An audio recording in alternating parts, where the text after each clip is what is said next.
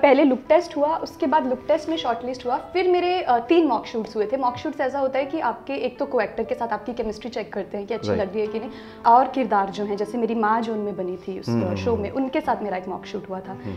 फिर फाइनली और इनफैक्ट उस शो के लिए काफ़ी बड़े बड़े एक्टर्स ने ऑडिशन दिया था मुझे लग रहा था मैं कहाँ से मैं अभी नहीं आई हूँ मुझे कौन लेगा इन्हीं इन्हीं की होगी सिलेक्शन बट नहीं हमें नहीं पता कि एक डायरेक्टर के दिमाग में क्या है और वो क्या वो सोच रहा है किरदार को किस तरह से देख रहा है। मैं एक महीने के लिए मुंबई आई थी। ओके। okay. एक महीने के बाद मुझे वापस जाना था और सामान भी नहीं मैं लाई थी। मैं चंडीगढ़ okay. रहती थी सारा सामान वहीं था। तो एक महीने में मुझे शो मिल गया उसके बाद वापस जाना ही नहीं हुआ। सामान भी अभी मैंने यहीं पे खरीदा है सारा।